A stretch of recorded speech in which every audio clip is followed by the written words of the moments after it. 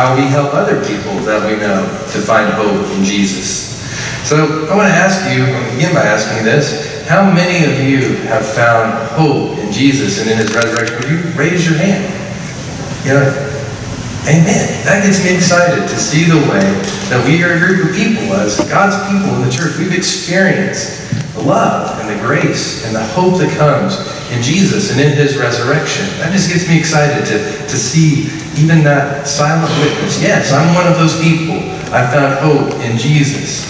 And last week we talked about uh, the story that comes right before the one we're going to look at today. The one of two disciples, Cleopas and one other guy. And they leave and they walk that dark road to Emmaus. And they don't recognize Jesus as he comes and walks the seven miles to Emmaus. Um, and it's not until they get to the home where they're going they sit down around a table and Jesus takes bread and he breaks it and gives it to them that he he's made known to them in the breaking of the bread. And they realize that it's Jesus who's been walking along with them this whole time. And that's really where I want to pick up the story today. As Luke was reading to us, they said to each other, Were not our hearts burning within us while he was talking to us on the road and while he was opening the scriptures to us? So when he vanishes from their sight, they realize that everything has changed. He really is alive, and their hearts begin to burn within them. And that's what happens when we encounter the risen Lord. Jesus helps us to find hope and helps us to begin to understand more clearly the scriptures, God's plan for salvation for each of us and for the world. And that's why we want so badly for people who are associated with our church in any way, or members, not members, but to come and to connect to God in worship. And it's why we really believe that when also when you connect to others in a small group, whether that's a Sunday school class or a Bible study, that you begin to, to study God's Word together with other Christians and you realize I don't have all the answers, and other people that come, they realize I don't have all the answers either, either, but I've learned some things. I've experienced this about God, and we're able to help each other to grow and to understand the Bible more clearly and to see how it applies to our lives. And when you're going through a dark time, there's a group of people in that small group, and they come and they put their arms around you, and they help to carry you through that time. And you do that for people when you see that happening to them as well. And this is the way Jesus helps us to grow as disciples and to find hope for the blessed future that God has for each one of us. John Wesley had an experience once, and he writes about it in his journal. I love what he says. He said, In the evening, I went very unwillingly to a society in Aldersgate Street, where one was reading Luther's preface to the Epistle to the Romans about a quarter before nine while he was describing the change which God works in the heart through faith in Christ. I felt my heart strangely warmed I felt that I did trust Christ, Christ alone for salvation. And an assurance was given me that He'd taken away my sins, even mine, and saved me from the law of sin and death. I wanted to share with you that this wasn't the moment when John Wesley confessed his faith in Christ and received salvation, but it was one of those moments along the journey where he felt the assurance of God coming, and the story becomes personal. Yeah, he knew Jesus died for everyone, but everyone includes me. He died for me too. And, and Wesley experiences that in that moment. And I want you to know that Jesus loves you. That's what we sing. Jesus loves me. Yes, this I know, for the Bible tells me so. But his love is for you, even you, and for the person next to you, and for people who aren't here today. His love is so big. And Jesus' love is the only thing that can ever fill that God-shaped hole that each of us has in our hearts. It's that very love that God has for us that really inspired those two disciples to get up that day on that first Easter Sunday. And Luke tells us that same hour they got up and returned to Jerusalem and they found the eleven and their companions gathered together. So when they experienced the risen Christ, what was their response? It was this. We've got to tell the others. We've got good news. You know, it had taken them two hours to march down that seven miles, sadly. But now I can only imagine that they're kind of half jogging, all seven miles back. Probably made it in an hour to go and share the good news. And, and that's the thing. You know, when you have good news to share, you, you can't keep it to yourself, can you? You know, when you have good news to share, oh my goodness, you've got to tell others. When my daughters are almost four and six years old, and I remember when each of them were born, Allison and I, we had our cell phones and we were taking pictures and we were texting friends and calling them and telling them how big each of the girls was and how much they weighed. And Allison posted it on Facebook. You know, it was good news. We, we had to share it with others. And that's the thing about good news is that you just have to share good news.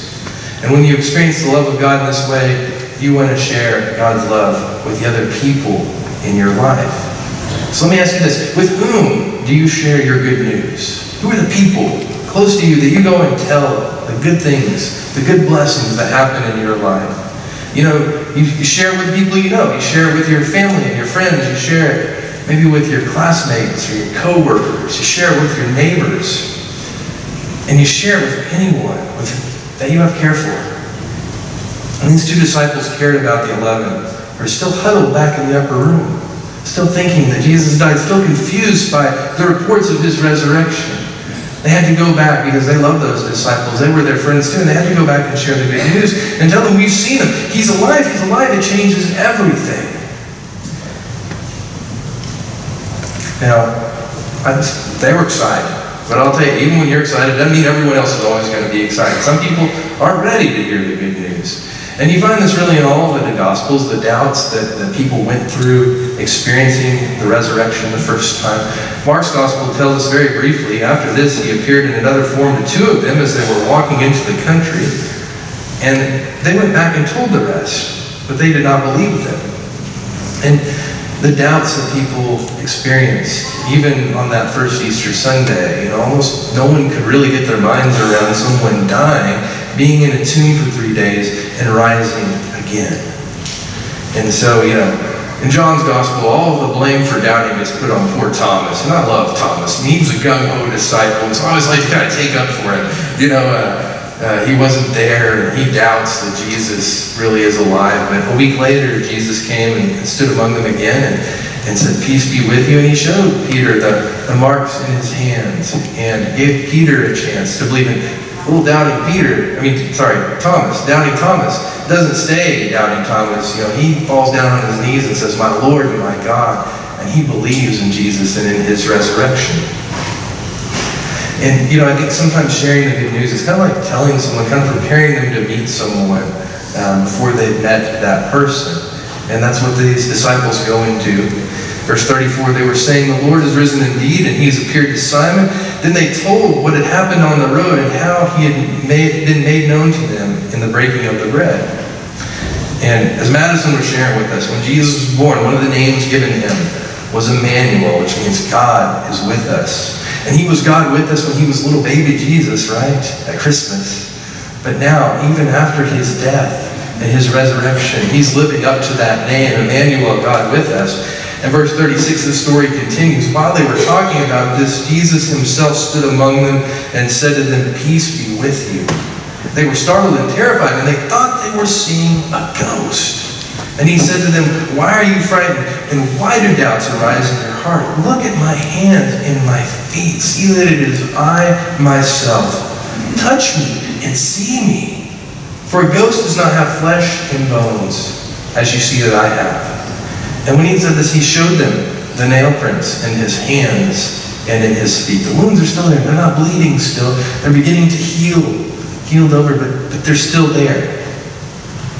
And he's saying, look at my hands and feet where I was nailed to the cross. Yeah, that's right, I did die. You're not seeing a ghost though. I'm alive again. I have been resurrected.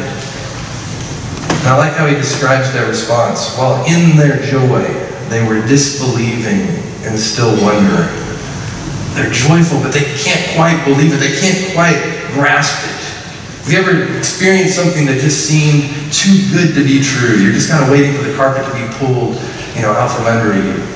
They wanted to believe what they were seeing, but they're still like, is it, is it really Jesus? Could it really be him? And they're afraid of maybe getting it wrong, but, but Jesus helps them to experience the resurrection so that they can believe. Verse 41, he said to them, Have you anything here to eat? They gave him a piece of broiled fish, and he took it and ate it in their presence. He's proving to them, I'm not a ghost. I'm real. I'm here. I'm physically real here with you. And Jesus is telling them, It's me. I, I know you don't understand.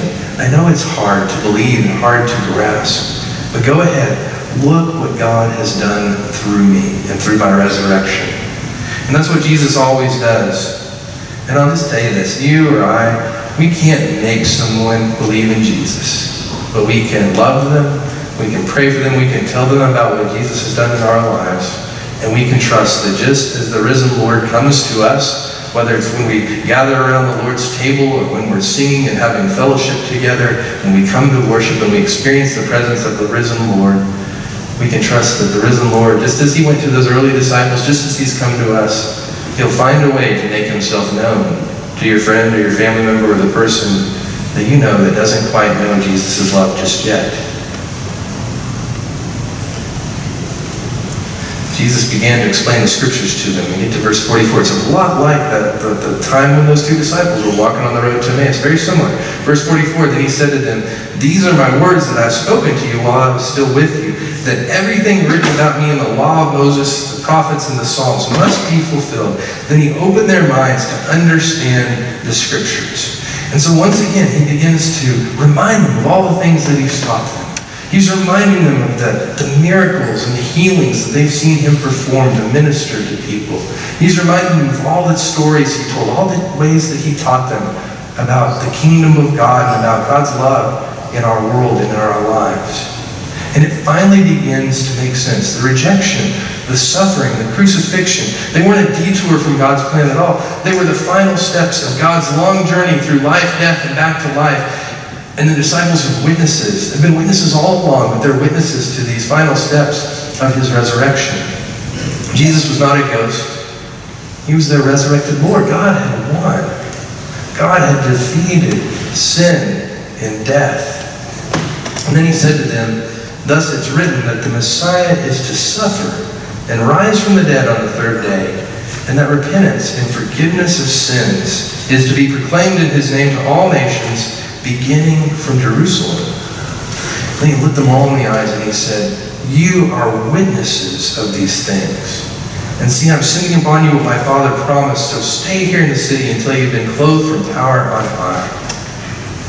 That's what the resurrection is all about. Jesus came to call people to repentance and forgiveness of sins, that they might experience the love and the grace and the salvation of God.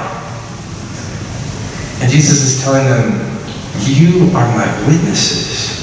You've seen everything that I've done. You've walked with me. You've seen me heal people and cast out demons. You've seen me welcome people who felt rejected. You've heard my teaching, teachings, and most importantly, you've known me. You have got to know me and my, my heart. And you've been present to witness to my life and my death and my resurrection. And you've watched all of the scriptures about me be fulfilled. And so now I'm going to send you to go and tell others what you've seen, what God is doing in our world. And he says, I'm going to send the Holy Spirit to empower you so that you can go out, empower, and encourage. And the Holy Spirit's going to come on the day of Pentecost and take this little band of scared people who are worried about being hunted down and killed just as Jesus was, and send them out to be witnesses in such a way that they no longer even fear death. That most of them would be put to death by, you know, means of crucifixion and other uh, capital punishment.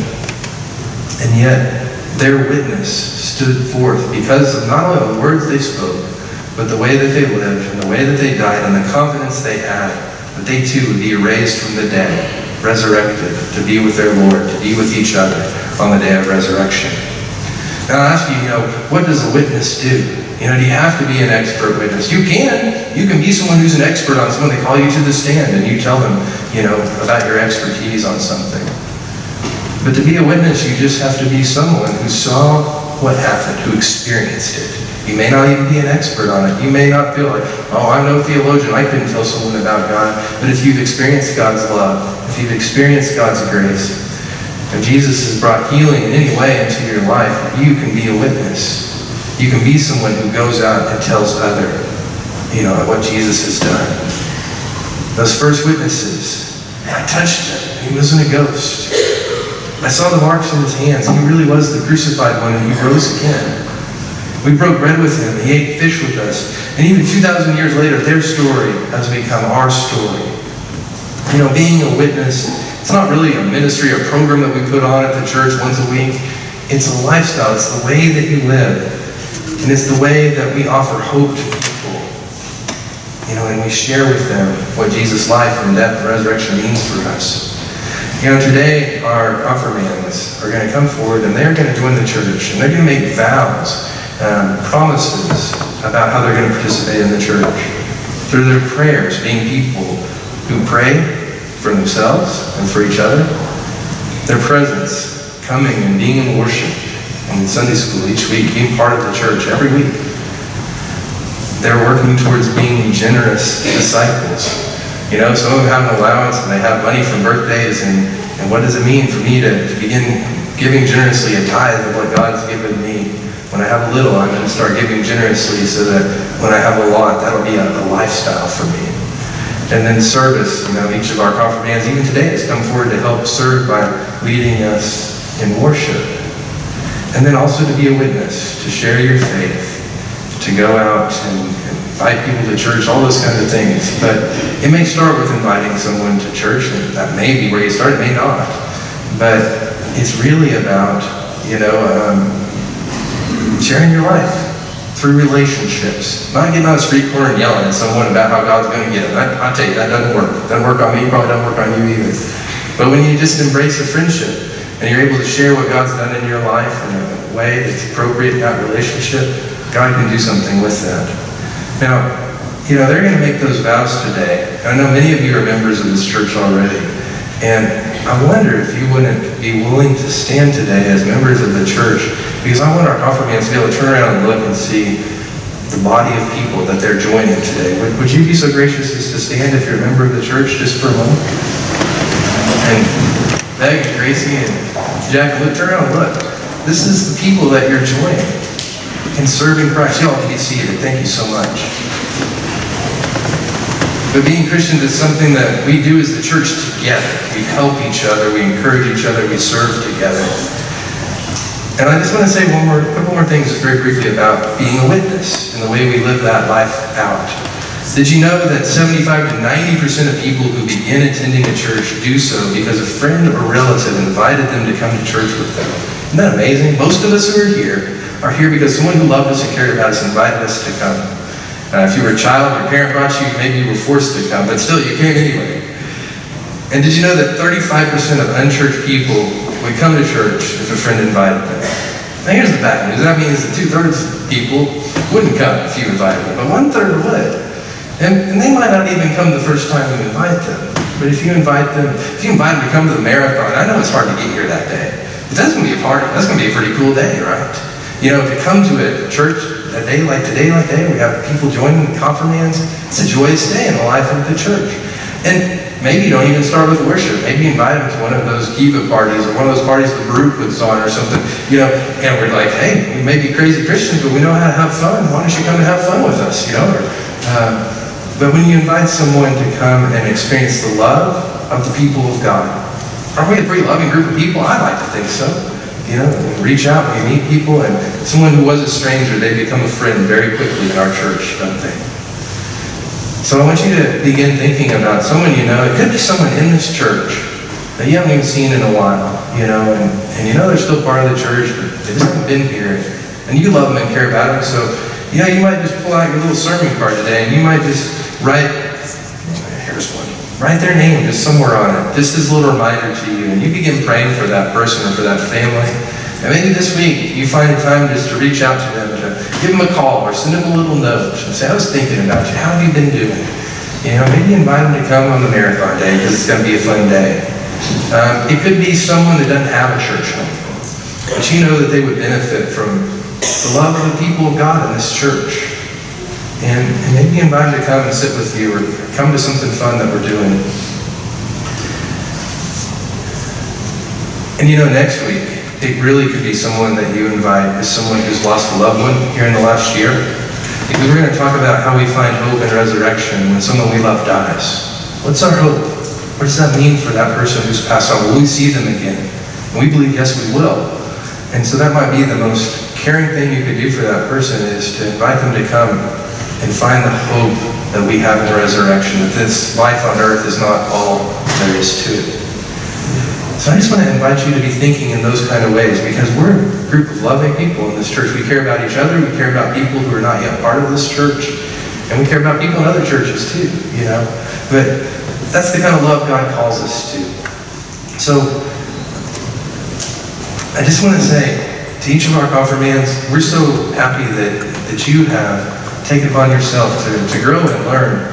And then when we were doing our interviews, Pastor Matt and I, with the, each of the confirmands, one of the things we asked them is today going to be a graduation or a beginning? And we all recognize that, yeah, it's the end of confirmation and we celebrate that. But we focus more on the fact that today is a beginning for them as they join the life of the church and say, I want to follow Jesus and be part of his church and his ministry for the rest of my life. And those are the vows that each of us who remember this church have taken. It's why we show up and it's why we serve and it's why we give. Because we love Jesus and we want to be part of what he's doing in the world. And so I invite you today to be witnesses in the ways that God shows you how you can be a witness to the people in your life and trust that God is going to do good things. Jesus is going to show up and the Holy Spirit is going to empower you to make a Christian difference in your life and in the world. Do you want to be witnesses? Say amen. amen. Let's pray. Lord, we thank you for those first witnesses who found hope in Jesus. And we thank you that he came to them to show them that he really was alive, to help them to overcome their doubts and to believe and to receive healing where they needed healing, but then also to be sent back out, filled by the Holy Spirit, to go and share your good news with a hurting world. And we know that you still show up today, Jesus. You're with us even now. And we love you and we worship you. We ask you to fill us with your Holy Spirit. And once again, send us out to share your love and to offer hope and good news to people who need some hope and some good news. We love you, and it's in Jesus' name that we pray. Amen. I invite you to stand and turn your bulletin. You'll find the words to the song we're going to sing.